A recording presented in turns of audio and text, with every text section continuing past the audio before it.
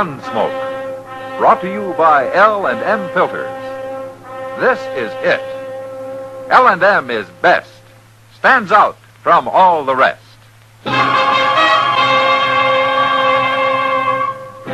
Around Dodge City and in the territory on West, there's just one way to handle the killers and the spoilers, and that's with a U.S. Marshal and the smell of gun smoke.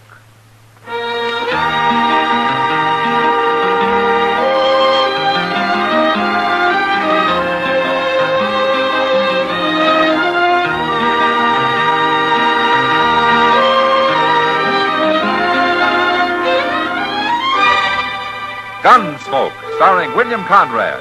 The transcribed story of the violence that moved west with young America. And the story of a man who moved with it. I'm that man. Matt Dillon, United States Marshal. The first man they look for and the last they want to meet. It's a chancy job, and it makes a man watchful. And a little lonely.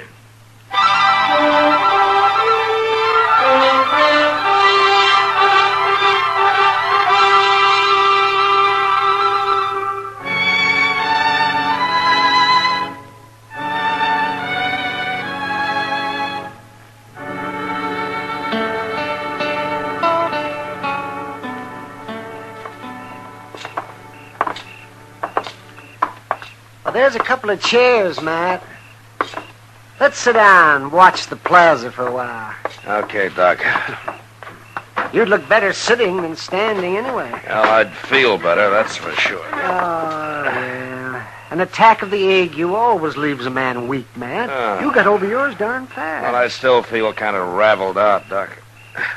Stupid and mad at the same time. Oh, well, ague doesn't improve a man's temper. Oh, I haven't had a good night's sleep in a week, I'll bet. Marshal Dillon? Uh, yeah. Uh, Marshal, you don't know me, but I've seen you around lots of times. My name's Jake Bewley. I've seen him, too. Hello, Doc. You know. No, what can I do for you, Bewley? I heard you was in the market for a good horse, Marshal. I'm always in the market for a good horse. Well, that's what I do, Marshal. Ride around the country looking for extra good horses. I don't make much profit off 'em, but keeps me from working steady. And I don't buy horses very often, Bewley, even good ones. You like buckskins? Sure. But uh, I don't want to look at him tonight. Tomorrow? Well, yeah, yeah, if I'm feeling better. So, you know, Matt, uh, what'd do you good? Oh, what, Doc? Go over to the Long Branch and take a couple of shots of whiskey, No? and then go to bed. okay, Doc. I'll just do that. You, uh, you want to come along? No, no, I got some work to do at my office. I'll see you tomorrow. Good night, Bewley. Good night, Doc. Good night, Doc. Ah, how long you been around Dodge, Bewley? Couple of months. No? You, uh, make a pretty good living trading horses? I done good so far. Without cheating nobody too bad either. Marshal! Marshal Dillon! I don't know. What does he want? Who is it? Uh, Sam Noonan. Oh, yeah. Don't he work at the Long Branch? He built it. Oh, what do you want, Sam? Hurry up, Marshal. Oh, what's the trouble? Outbacked. Gonna be a fight. A fight? Who? you know that gambler, Charlie Pickard? He's also kind of a gunman, isn't he? He's roaring drunk, Marshal, and there's gonna be trouble, sure. Now, come on, we'll go up the alley. That Pickard's always getting in trouble. Who's he after, Sam? Chester, that's who. Chester. Yeah. It started right inside at the bar, Marshal. Chester bought a drink for that little blonde girl. Nita Well, it doesn't matter now. You can tell me later. There they are. Oh, don't be a fool, bitch. Shooting people ain't gonna help nothing. I didn't bring you out here for talk, Chester. Now everybody get back. Ah, you're drunk, Pickard. I ain't so drunk I can't shoot you. Pickard, Marshal Dillon. Don't touch the gun, Pickard. What are you doing here, Marshal?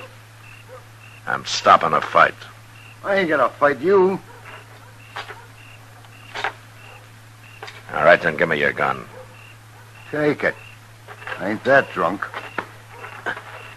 Chester, Yes, sir. throw him in jail. Now wait, Marshal. Shut up. Take him around the other way, Chester, out the next alley. I'm going inside for a minute. Then I'll be over. There ain't gonna be no fight. I think I'll go to bed. I'll be around with that buckskin in the morning, Marsh. Yeah, sure. Sure, Bewley. It ain't fair to put me in jail, Marshal. I ain't done nothing. You're drunk and you were about to shoot a man, Pickard. I'm doing you a favor throwing you in jail. That's true, Pickard. All right. Put me in jail. But wait till I get sober, Chester. Wait till tomorrow. Oh. I'll get you. You'll see what I'll do. You're not going to do anything, Pickard. All right, take him along, Chester. I'll follow you, Pickard. Go ahead. Walk slow. It won't be so easy next time. Marshals. What are they going to have marshals around for? Oh, you'll forget it by morning. No, I won't. You'll see, Chester.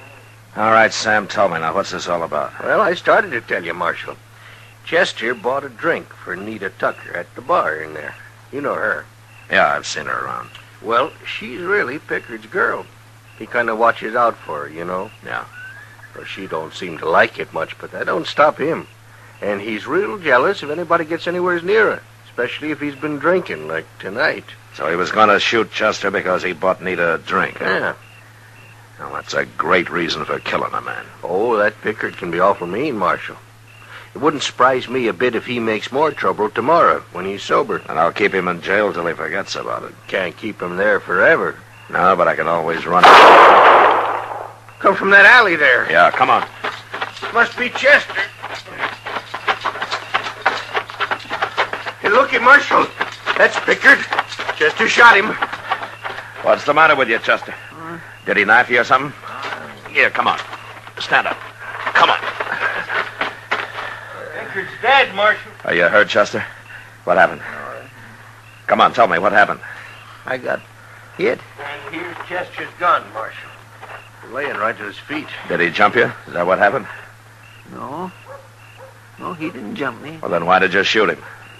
I didn't shoot him. Somebody hit me. Well, that don't make sense. Of course you shot him. This here's your gun. It's been fired. I didn't shoot him. Somebody jumped out from back of that rain barrel and hit me. Eh?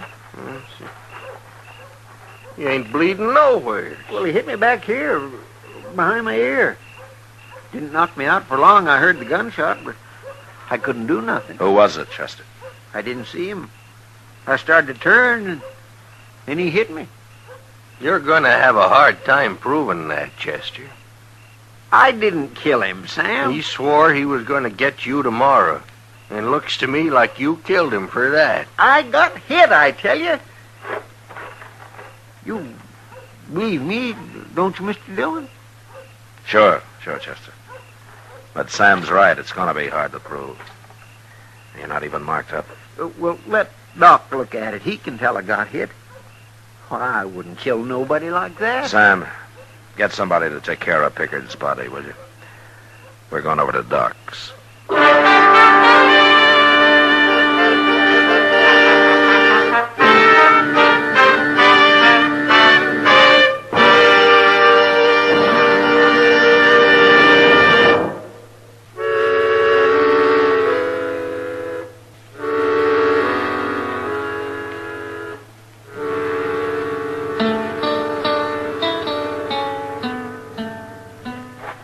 Uh, hold that lamp a little higher, Matt.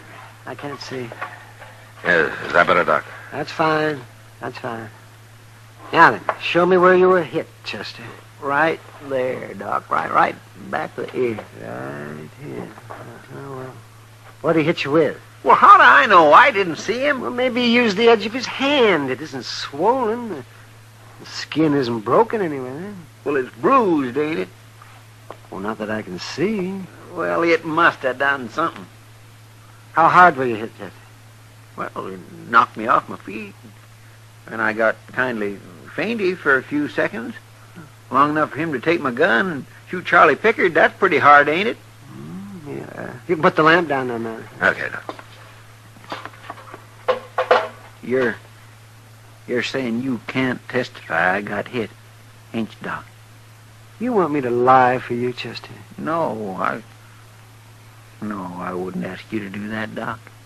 It's too bad Sam Noonan had to be there, isn't it, Matt? Oh, Sam likes Chester, but he thinks he did it, and he'll testify against him. Well, how can he, Mr. Dillon? He didn't see it. No, nobody saw it. Uh, then they can't hang me, can they? They can't hang you, Chester. But prison, huh? Maybe for life. Uh, we'll find out who did it. Oh, there's no way in the world to find Now, out. wait a minute, Chester. You're giving up too easy. Tell me. You you and Doc, you you don't really think I done that, do you? You're in a bad spot, Chester, real bad, but I believe you. What about you, Doc? Oh, of course I believe you, Chester. Thanks, Doc. And you too, Mr. Dillon. I I'd feel awful if you didn't believe me. Well, worrying about it won't help, Chester. Well, I gotta worry about it. If we don't find out who done it, I'll have to stand trial. And I won't have a chance if I do. Are you are you gonna put me in jail, Mr. Dillon? No, of course not. Uh, you'd uh, better stay around the office, though, huh? There's going to be enough talk about it as it is. All right, sir. Uh, what was the girl's name? Nita Tucker? Yes, sir, that's right. But why? Well, maybe she knows who wanted Charlie Pickard dead. I'll be back later.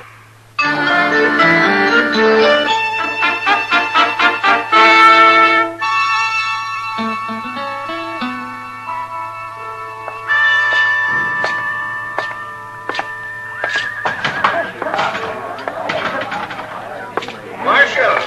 Oh, hello, Sam. Well, what did Doc find? Nothing visible. Ah. You put Chester in jail? Uh, I'll have a shot of whiskey, Sam. Now, look, you, Marshal. I'm as sorry about this as anybody. But just because Chester works for you there's no reason he can murder a man and then go free. I'll be responsible for Chester. If he gets away, it'll make a lot of trouble, Marshal. You think Chester did it, don't you? Of course I do. And I don't like him not being in jail. Uh, Sam, that's Nita Tucker sitting over there with Kitty, isn't it? Yeah, that's her. But she didn't do it. Oh?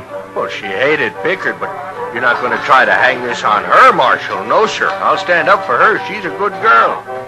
I got the drink, Sam. I don't need it.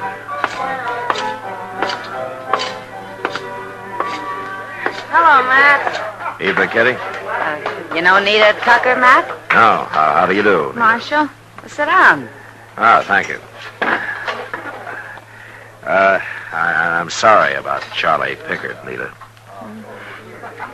Sounds terrible, Marshal, but I'm not very sorry. I hated him. Uh, Charlie didn't treat women very good, Matt. Well, that wouldn't excuse murdering him, though. Uh, I'm not so sure. Marshal, you're not thinking I had anything to do with it, are you? Now, Chester says he didn't do it, and I believe him. I wouldn't kill anybody, even him. Where were you when it happened? I was in here. She was at the bar, Matt, and I was standing right next to her. Okay. I guess that clears you, Nita. Uh, tell me, who else hated Pickard? A man like him has enemies, Marshal. There must be a lot of them. Anybody in particular? Mm, not that I know of. Look, I'd like to help Marshall. If Chester didn't do it, it isn't right he should be in jail. No, it sure isn't. Uh, it looks bad for Chester, don't it, Matt? Yeah, Kitty, it does. Well, good night. Good night, Nita. Night, Good night, Marshal.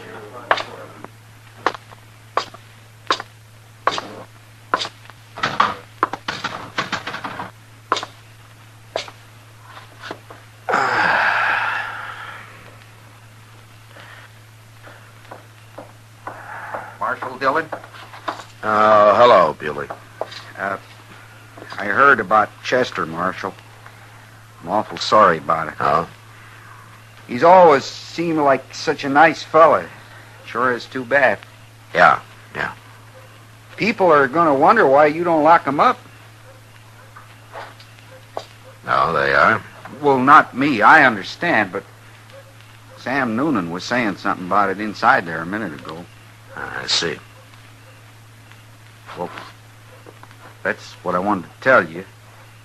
He's going to make trouble about it. I told him not to be a fool. Uh, just a minute, Bewley. Well, what do you care? Is Chester a good friend of yours? No, I don't know him very well, but I don't like to see no trouble start. Well, if it does, I'll handle it. I know you will, Marshal. I just wanted to tell you what the talk is. I'll bring that buckskin by in the morning, huh? Okay. Good night, Bewley. Good night, Marshal.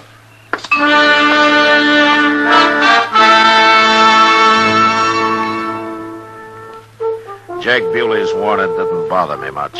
But still, I couldn't delay filing murder charges against Chester forever. And after ten days of useless search for the real killer, I had to do it. And then, having written him up, I really began to worry. Chester did too. He'd sit quietly in the office and look at me as though I'd just kicked him. So I stayed out of there as much as possible. Like today, I went into Mr. Jonas' general store for nothing but to kill a little time looking around. Matt. Hey, Matt. Come here. Wow. Hello, Kitty. Nita. Hello, Marshal. Well, are you girls going to buy that whole pile of dresses you got stacked up there? As soon as Mr. Jonas gets back here, we are, Marshal. She means she is. I'm only watching, Matt. well, isn't that a lot of clothes for just one woman? Not for me. Not this time. Not this time. Matt. When does a girl buy everything new? All she wants. well, I don't know, I'm sure. When she gets married, of course. Married. Uh, you getting married, Nita? Next Saturday, Marshal. Well, uh, that's fine. That's fine. Uh, do I know the groom? Jake Bewley. Jake Bewley. I guess everybody's surprised. Yeah, yeah. Would you come to the wedding, Marshal? I wish you would. Well, sure, sure. Really? Of course, I, I'd like to come, Nita. Good. Look, Kitty, I didn't see those hats back there. well, I'm not going to leave this store till I've looked at every single thing in it. Um, Kitty, She's so excited. Kitty, listen to me. Huh? How long has this been going on between her and Bewley? A month or so, I guess. What? I thought she was Charlie Pickard's girl. Pickard thought she was, too. But she and Bewley used to meet on the sly. He never did find out. And he sure can't stop him now. No, he can't. As bad as it is for Chester, I'm glad Charlie Pickard got shot. Well, there are other ways it could have been handled. Kitty, I'm going to tell you a secret. A secret. Well, that's what I want you to call it when you tell it to Nita. Tell Nita what? And I'm going to let Chester leave Dodge tonight. What? I'm going to ride out of town with him, and as soon as he's gone, I'm coming back and arrest Bewley. Bewley. You think he did it, Matt? Well, he could have. He had a good reason to. I'm going to find out for sure tonight. Anyway, tell Nita that I have a witness. A witness that nobody knows about but me. But, Matt, if Bewley believes that, won't he wonder why you're letting Chester run away? Well, not if he hears my witness won't be back in Dodge for a couple of days. And that I'm afraid Sam Noonan will form a lynch mob before then. All right. But you're asking a lot, Matt. By telling Nita this could ruin her one chance to be happy. Now, she wouldn't be happy with a murderer, Kitty. And if Bewley's innocent, I promise you that nothing will happen to him. Okay, Matt. I'll do it. All right, good. Now, Chester will be riding out of Moss Grimmick's stable about midnight tonight. With me.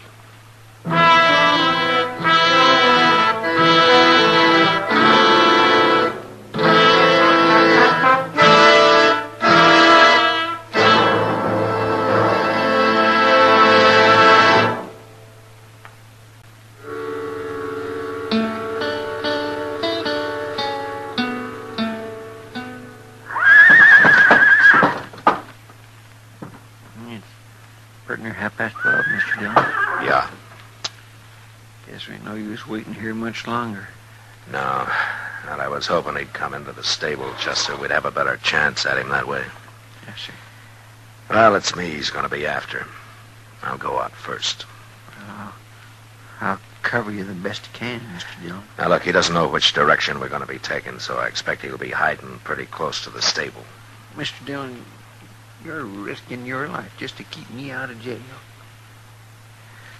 I'm catching a murderer, Chester. No, sir, that's only part true. You're catching a murderer. I'm going to lead my horse out the main door now. You stay here in the shadows. And I'm going to turn back and call to you so that he'll know it's me that's out there. Well, ain't there some other way we can catch him, Mr. Dillon? I, I swear I don't know what I'd do if anything happened. I'm going to go now. Yes, sir.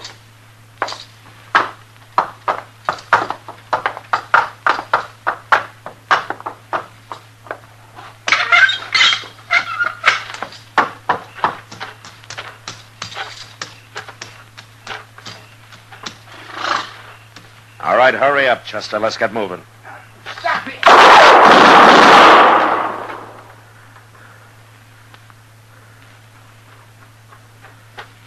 He's in that alley, Mr. Dillon. I seen his gun flash. Don't shoot, Chester. Wait a minute. Come on.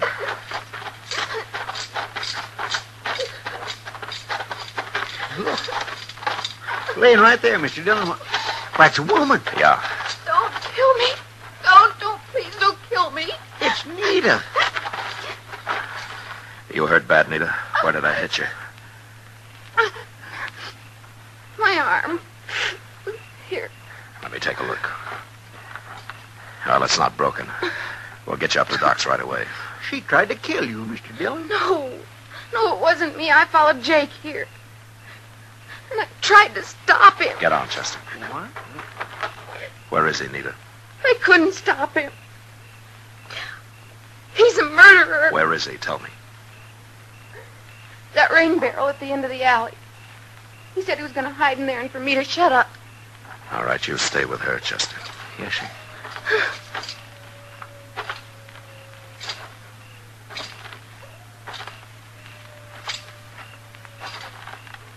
I'm taking no chances, Bewley. I'm going to start blowing holes in that barrel. No. Don't shoot. Look. My hands. Can't you see him? All right, keep 'em up. Hi.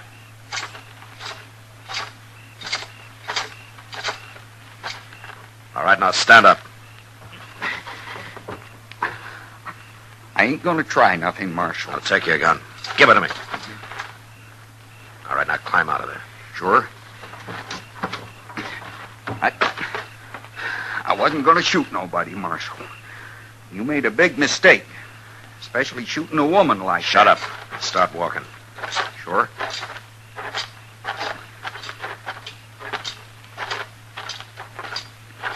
Jake, Shut up, Nita. I told you not to do it. I, I told you. Too bad you wasn't killed. She was the one tried to do it, Marshal, not me. But, but I only run and hid to, to protect her, sort of. You're not making much sense, Bewley. Take him to jail, Chester. Listen to me, Marshal. No. Get going. Come on. Move, Bewley. Go on. And you better walk straight. Won't do no good. You can't keep me in jail. Yeah, you'll be saying that a month from now, Bewley. Can you walk all right, Nita? let me rest a minute. When I can. Yeah, sure. I guess you won't be coming to the wedding after all, will you, Marshal? No. No, Nita, I, I guess I won't. Here. I'll carry you up to Doc's.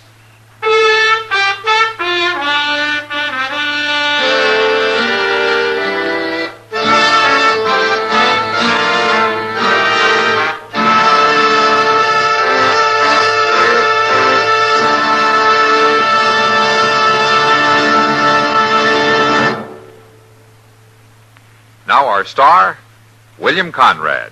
Thank you, George. Today, there's one filter cigarette that stands out from all the rest. L and M stands out for flavor, for effective filtration, for highest quality tobacco. L and M's got everything. That's what makes it America's best filter tip cigarette. Try L and M's king size or regular. I know you'll go for 'em.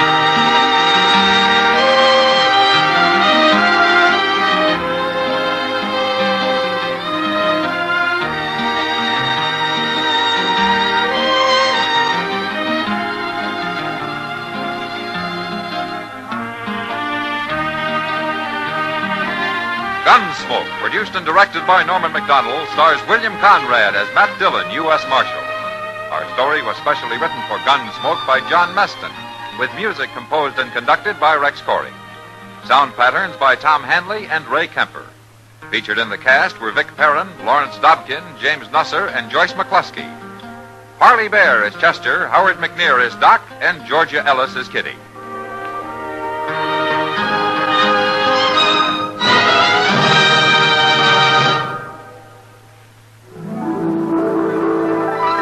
A smile in your smoking.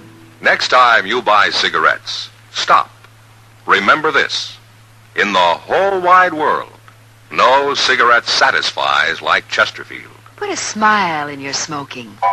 Instantly, you'll smile your approval of Chesterfield's smoothness. You want them mild. We make them mild. Mild and mellow, with the smooth and refreshing taste of the right combination of the world's best tobaccos. Put a smile in your smoking. Try Chesterfield's today. Listen to Chesterfield's two great radio shows every week.